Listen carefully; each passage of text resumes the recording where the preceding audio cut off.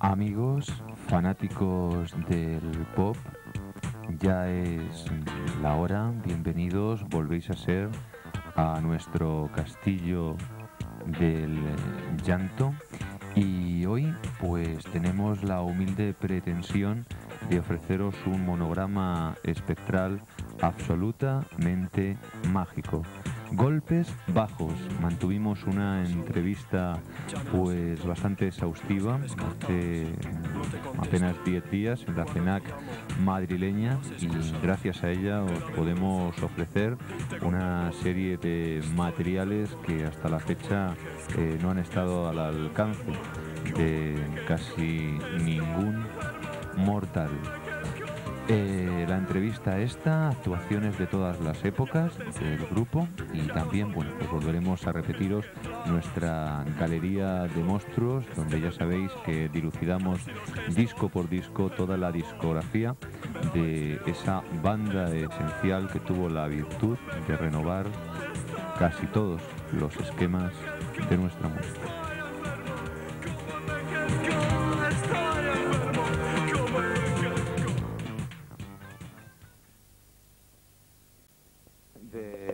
Mayo de 1996 estamos en la eh, FENAM madrileña y hoy, bueno, pues quien aterriza por aquí es Germán Copini. Vamos a hacer con él una entrevista bastante rápida eh, y que sin embargo, bueno, pues en principio es como si lleváramos 10 o 12 años preparándola, ¿no? Sí, tú tienes más... Llevas mejor la cuenta que yo, por los años ¿no? que, me, que me toca. Eh, aunque vayamos muy deprisa, pues necesitamos para hacerlo que queremos hacer un- una reseña muy pequeñita sobre cada disco, empezando desde aquel mini LP del 83, cuando Michael Jackson temblaba porque le quitabais a la gente las pistas de baile, golpes bajos. En el 83 el mini LP con malos tiempos y con no mires a los ojos de la gente y luego eh, el LP soy bastante malo para acordarme de las fechas Eh, el LP mm, eh, Santa Compañía eh, y luego bueno otro mini álbum no sé cuántos eran cinco temas un devocionario hay maxis también pero me pierdo No, no tienes buena memoria para eso. Mm, No, es que, mm, hombre, me acuerdo de los discos, pero no, no sigo la- los años, me olvido, ¿no? Se me, me atropello. El primero eran cinco canciones, en el año 83 ahí venían pues los dos primeros himnos, ¿no? Eh, Malos tiempos para la lírica No mires a los ojos de la gente y ya se veía un poco, hombre, a lo mejor queda un poco radical decirlo así, pero las dos facetas, la faceta intimista y la faceta alocada de golpes bajos. El estoy enfermo tendré que salir algún día. Sí, bueno, fue mm, la maqueta, hubo poco tiempo entre una cosa y otra, una maqueta con varios temas y tal, eh, y luego este disco se grabó, no sé si fue en un fin de semana, o sea, más rápido imposible. Contactó con nosotros Mario Pacheco de Nuevos Medios, sabes que en aquel momento, pues bueno, tanto el programa como de, de Ordovás, como, bueno, estaba en pura efervescencia, digo, ¿no? La, por Radio Nacional y tal, y, y también nos habíamos presentado al concurso este de Rock Deluxe y tal, que luego mm, se decidieron por la cinta y tal, mm, habíamos ganado un premio como para grabar en una multinacional y todo esto, pero Mario Pacheco se adelantó a todo esto antes de, los resultados, se fue a Vigo, contactó con nosotros y ya te digo, fue rapidísimo, o sea, un fin de semana nos hicimos las maletas, nos, nos vinimos a Madrid y nos grabamos el disco. Eh, choca un poco que tú comenzaras cantando con Siniestro Total, ¿no? Porque Golpes Bajos no tenía nada, nada que ver. Lo que no sabe mucha gente es que, mm, bueno, yo mm, eh, trabajaba con Siniestro, pero los fines de semana, siempre he ido un poco por libre, ¿no? Y los fines de semana, pues, mm, me iba a casa de Teo Cardalda, que aparte de ser compositor, era compañero mío en el, en el instituto, y nos veíamos un poco las caras, y, bueno, Teo tenía otro grupo y tal, y pues fuimos haciendo cosas y tal, ¿no? Digamos que Siniestro era un poco el grupo más o menos que me servía a mí para, pues, para ganarme un dinerillo y tal, y un poco para actuar, ¿no? Y luego, pues, golpes era una cuestión mía personal que llevaba muy, muy en secreto, ¿no? Pero entonces golpes ya existía de alguna manera. Ya existía, sí, sí. Incluso eh, Julián de Siniestro pues iba a los ensayos de golpes y tal, ¿no? Y en Vigo, pues hombre, en Vigo, una capital como Vigo, pues nos cambiábamos de grupo cada dos por tres y tal, el de Siniestro estaba con aerolíneas y tal. Bueno, la cuestión era mantenerse ocupado, ¿no? De la mejor manera posible. ¿Y tu canción favorita de aquel primer disco? Bueno, malos tiempos. Malos tiempos, ¿no? Que es la que todavía haces en directo alguna vez. Sí, bueno, es la que da juego. De todas maneras, eh, yo siempre lo digo, o sea, a todas les tengo especial cariño, ¿no? Pero, bueno, esa ha quedado un poco como, como más, me- mejor acabada, ¿no? Las otras eran un poco más, lo que dices tú, un poco más alocadas y tal, bueno, tiempos, claro. Nuestra favorita, sin embargo, es Tendré que salir algún día. Que era, un, era como agridulce y claustrofóbica, ¿no? Era un niño encerrado en un desván o algo así. Curiosamente luego había como una segunda parte que era tendré que salir algún día y todo esto, sí. Eh, no era fácil, o sea, mm, vivir en aquellos años, ¿no? Eh, digo, en una capital como Vigo, ¿no? A tantos kilómetros de, bueno, de donde se estaban sucediendo realmente las cosas, ¿no? Y bueno, yo, mm, mi círculo de amistades eran pues los que tenían poder adquisitivo para venirse aquí a Madrid, comprarse discos y un poco estar informados y tal, y estábamos un poco como expect- expectantes, ¿no? A que alguien se pudiese hacer algún viaje y trajese cosas de nueva. No, había, bueno, eran otros años y, y era un poco duro, ¿no? Cada uno pues hacía, se dedicaba a otras historias totalmente diferentes y la música era como estaba en segunda parte, ¿no? Pues estudiábamos o no sé, nos dedicamos a trabajos totalmente dispares, ¿no? Y diferentes. Eh, 1984, quizá el mejor disco de golpe, ¿no? La Santa Compañía.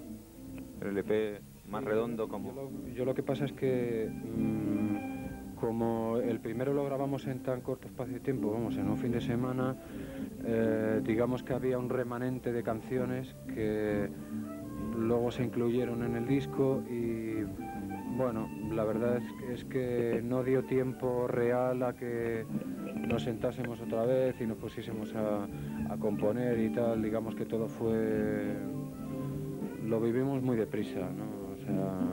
Eh, después del disco se contactó ya con una oficina que nos metió en la dinámica de actuaciones y tal. Y realmente creo, en mi modesta opinión, que cometimos un error no grande. Que, el que, que- que- no fue el sentarnos en un momento dado y decir, bueno, vamos a replantear las cosas tranquilamente, ¿vale? De acuerdo, ha salido este disco, todo lo que eso supone, actuaciones, pero lógicamente el grupo también necesita su tiempo para, para componer canciones. ¿no? Nos, echaron en cara el que fuéramos bastante... eh, bueno, que, que- que hiciésemos las cosas con cuentagotas, ¿no? Y que hubiese pocas canciones en los discos, pero es que realmente no dio tiempo a, a sentarse y a seguir haciendo... Y del LP, ¿con, ¿con cuál te quedarías? No sé, ya te digo, o sea, todas las tengo especial. Escenas olvidadas, por ejemplo, me gustaba mucho. Que Era un poco la, la faceta salsera, podemos decir, cálida de... Sí, cálida, yo más que salsera, que es un término, sí, cálida. En aquello, bueno, eh, muy, muy pocos hicieron su, su intentona, ¿no? La gente estaba más en aquellos años por emular al, al rollo eh, oscuro, tétrico y, em, em, no sé, em, como los... o sea, negro y oscuro, pero los de fuera, ¿no? Entonces, bueno, ¿por qué recurrir a los de fuera? Salir Bauhaus y Galicia, vamos, o sea, tenía una leyenda acojonante, ¿no? Para sacarle partido y para, digo, o sea, una, unas historias emocionantes. Es un tanto curioso, ¿no? Que ahora haya gente que te recrimine o que te tache de apuntarte al, al rollo latino, ¿no? Cuando ya hacías escenas olvidadas hace 12 años. No me la refancifla. O sea, que hay gente que dice, no, pues mira, ahora que, que, que si latino, que si tal y que... Bueno, y- es... Hace tiempo que te dejó de importar vale, eso, ¿no? de acuerdo. No, eh, también es verdad que se nos, nos hemos contagiado todos. Pero mm, aquí mm, tú eres consciente de que en, en, la, en, todo lo que es, desde que escribe las canciones, un poco las arreglas y tal, se pasa tanto tiempo, o sea, que no da tiempo, o sea, que llega un momento en que las cosas van con una lentitud que, que por mucho que intentes cambiar arreglos, un poco la visión, bueno, joder, o sea, el disco salió así, no hay que darle mil peros. Ahora, lo único que llevo como orgullo es que mientras otros petardos, ¿entiendes?, se dedican, tienen su disco de referencia, digo, y lo que sí intentan es emular al de afuera, a mí el de afuera no me interesa, o sea, mm, más hago referencia, si quieres, a las primeras orquestas, por hablar un poco de música latina, ¿no? Eh, en, especial, lo que sí, Sí, y realmente está tocado con, músicos aquí, o sea, yo no tengo que, o sea, que, me parece muy bien que todo el mundo, que ahora venga alguien y nos descubra a Benny Moré o que hable del son cubano y tal, vale, pero que, joder, o sea, estamos todos en, lo mismo, ¿no?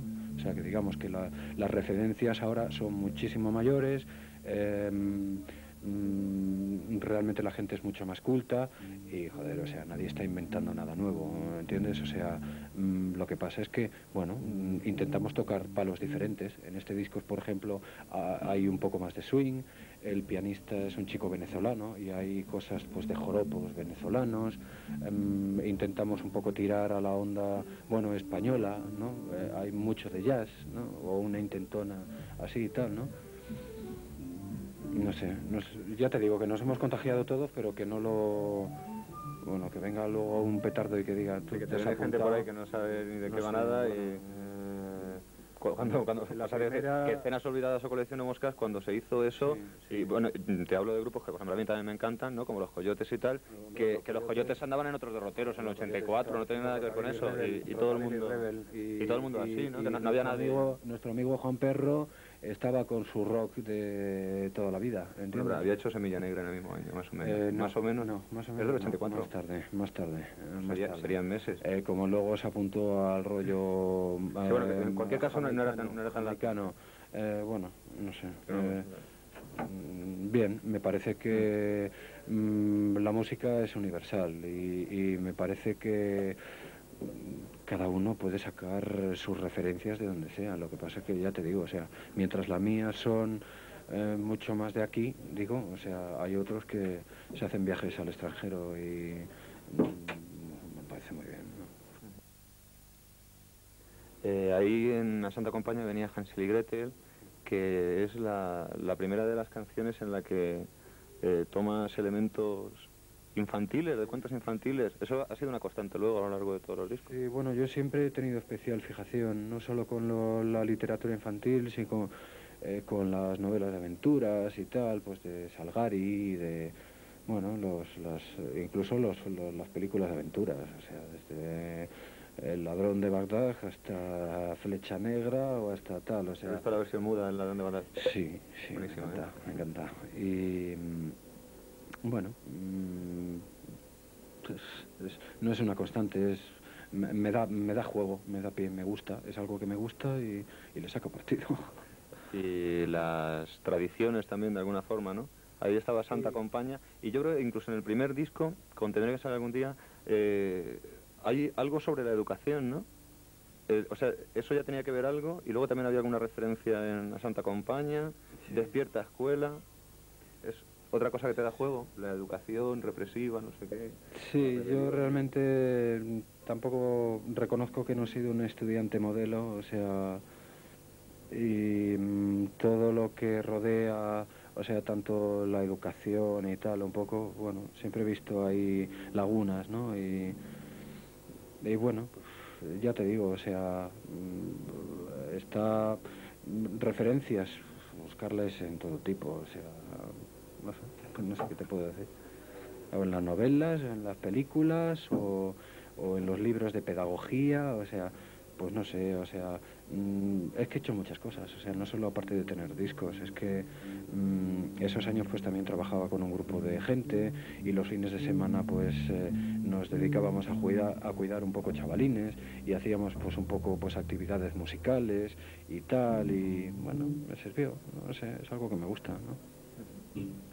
Eh, devocionario, el disco más críptico, oscuro y fantasmal. Sí, porque luego está mi, bueno, no es mística, pero sí mi lado un poco religioso, llámale lo que quieras, es una manera, bueno, de tratar la religión muy personal, ¿no? Y, Era casi bueno, monotemático. ¿no? El disco desde luego está dedicado a, hay una parte buena y una parte, una parte mala, ¿no? Eh, el disco está dedicado a uno de, bueno, las figuras que me marcaron curiosamente aquellos años, que es el pedagogo, volvemos otra vez a la pedagogía, a la cuestión un poco de niños, que fue Ferrer y Guardia, ¿no? que fue uno de los personajes más punks de toda la historia, curiosamente nadie le ha hecho ninguna, ningunas concesiones. Mm, En Barcelona se le levantó una estatua que fue un personaje súper curioso, o sea, aparte de ser uno de los primeros que abogaba un poco, pues bueno, pues era libre pensador, el tío pues se curraba la historia de, bueno, de enseñar de otra manera, ¿no? Y no a la que tenemos todos, la, que, la que nosotros hemos padecido, ¿no? O sea, yo es que lo pasé bastante mal. Tampoco mm, fue traumático, pero es que me aburría soberanamente, o sea, me...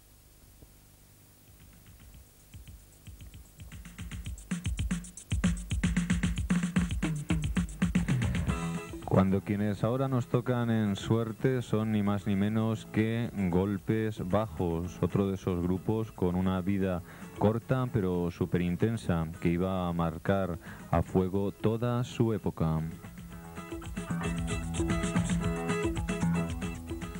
Golpes Bajos se forman cuando el que fuera primer cantante de Siniestro Total, de nombre Germán y de apellido Copini, se encuentra en Vigo con otros mm, amigos de la escena de eh, esa ciudad, gente como Luis Pérez, Pablo Novoa eh, y eh, el multiinstrumentista Teo Cardalda. Cuando se junta con ellos para formar golpes bajos, da salida a otro tipo de inquietudes que, por supuesto, en Siniestro Total no tenían demasiada cabida, obsesiones de tipo más eh, lírico y, bueno, pues eso, eh, más exquisito también, en cierto modo. Y también más serio, y ellos ficharán con otra de las compañías independientes de la época con nuevos medios y serán el grupo revelación por excelencia de la temporada 1983. La palabra revelación en este caso ha de apuntarse en letras muy grandes y muy brillantes, ya que Golpes Bajos fueron el único grupo que en esa temporada desplazó de 100.000 pistas de baile a los fanáticos del thriller de Michael Jackson. Fue posiblemente también el primer gran éxito mm, de una compañía independiente en nuestro país, eh, adelantándose a los discos de oro venideros que ya pues llegarían en, en años siguientes de grupos como Gabinete Caligari u Hombres G. Golpes Bajos incluyen cinco canciones, cinco obras maestras en este primer mini LP, como son Estoy enfermo, No mires a los ojos de la gente, Malos tiempos para la lírica, Lágrimas y tendré que salir algún día. Crean una enorme expectación en todos los medios de comunicación y se les empieza a poner a la altura de Radio Futura. Comienza a ser usual que cuando se entrevista a un grupo nuevo del tipo que sea y se le pregunta por sus grupos españoles favoritos, diga eso, mis grupos favoritos, Radio Futura y Golpes Bajos. Golpes Bajos se consagrarán del todo en lo que iba a ser su mejor temporada, la siguiente, 1984. En 1984 sale también con nuevos medios el primer LP del grupo, se titula A Santa Compaña.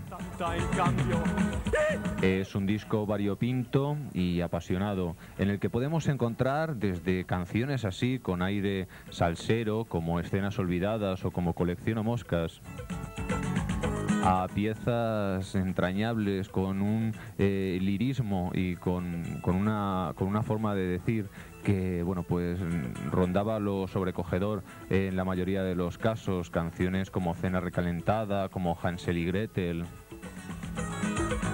o como lo que será el primer éxito, casi podríamos decir masivo, en la carrera de Golpes Bajos. Esta canción que se extrae como single y se llama Fiesta de los Maniquíes. A Fiesta de los Maniquíes le seguirá pues algún single más, como este otro de Escenas Olvidadas. Y luego con posterioridad un maxi single con remezclas de una de las canciones representativas de mm, su vena salsera, como ya decíamos, Colecciono Moscas. Golpes bajos están a punto de disolverse, pero todavía no lo sabe casi nadie. Posiblemente, en el momento en el que salió Colecciono Moscas, ni siquiera ellos mismos pudieran intuirlo. En 1985 y poco antes de que esa separación se produzca, sale a la venta el más críptico y extraño y comentado también quizá de todos sus discos. Es un nuevo mini LP mm, que se titula Devocionario y que tiene en, todos sus surcos como unos aires así, como muy de iglesia, como rodando, como rozando eh, cierto misticismo. Por una parte creíble y por la otra irónico.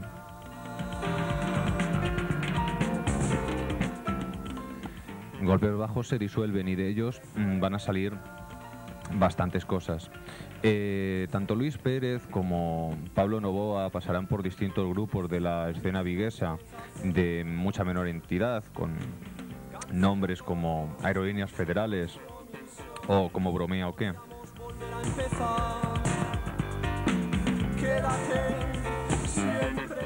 Teo Cardalda, por su parte, montará un proyecto de carácter multinacional y de inclinaciones demasiado adultas que no acabará nunca por satisfacernos del todo. El grupo Cómplices junto a su mujer María Monsonis.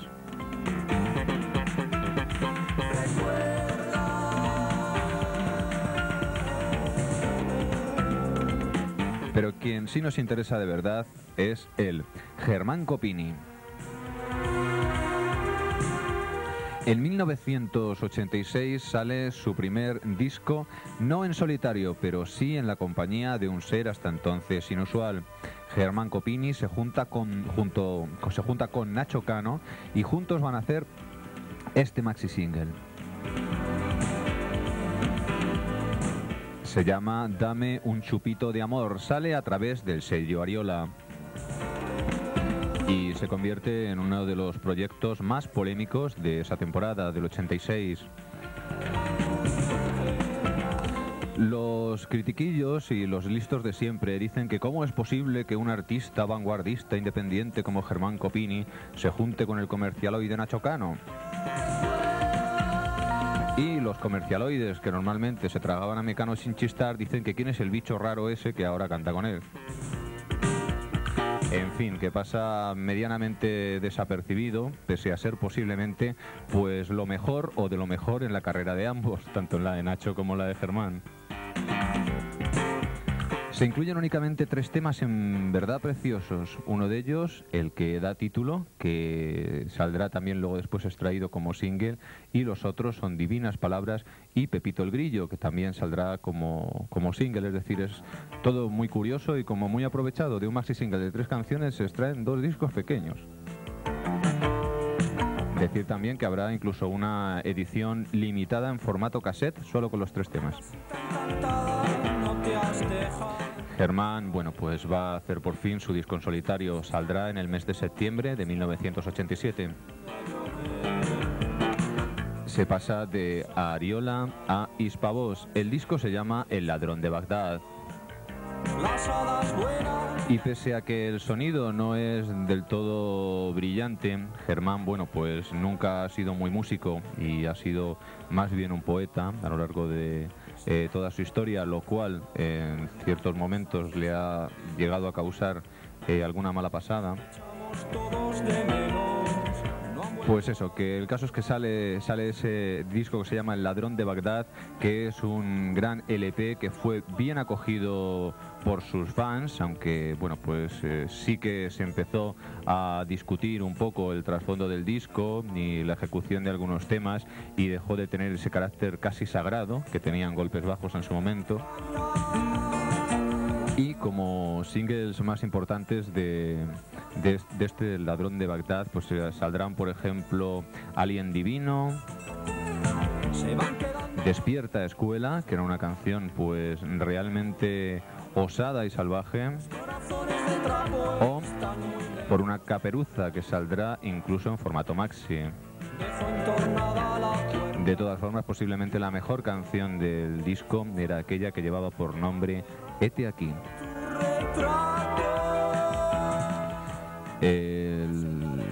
la carrera de Germán Copini está casi casi pues a punto de sufrir un parón, aunque en ese momento tampoco lo sabemos casi ninguno.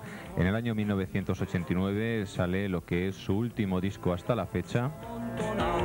Sale también con el sello Hispavoz, se llama Flechas Negras y aquí Germán comete el error, y casi podríamos decir el horror, de dejar su álbum en manos de gente inadecuada. Los rebeldes sin pausa, unos muchachos dedicados a la música bailonga, eh, ponen sus manos sobre el disco y lo dejan totalmente mutilado. De todas formas, Germán estaba evolucionando hacia la música soul y eso, hacia los ritmos negros y sobre todo bailables. Lo cual hace que este disco sea pues casi casi una sombra de todo lo anterior. Una pálida sombra. Aún así, saldrán algunos singles interesantes como Mujer o Barba Azul que llevarán ya Germán, bueno, pues hacia un extraño silencio a nivel discográfico que hubo un conato de que se rompiera algunos años después, sobre 1991, cuando él formó una banda llamada Germán Copini y los Cuatro Fantásticos. Los Cuatro Fantásticos no llegarían a sacar disco en aquellos años. Eh, lo único sería una participación dentro de un álbum recopilatorio de homenaje a Antonio Vega, que llevaba por nombre, ya lo sabéis, ese chico triste y solitario y que incluía una fabulosa versión de Los Cuatro Fantásticos con Germán, la, la de la canción, eh, bueno, pues de Nacha Pop por excelencia, chica de ayer nada menos. Los rumores sobre la edición de nuevo material de Germán Copini han sido continuos desde entonces y nos ha dicho un pajarito que el disco se ha grabado en las pasadas navidades, o sea, sé que por fin posiblemente podamos volver a disfrutar de su música en muy poquito tiempo.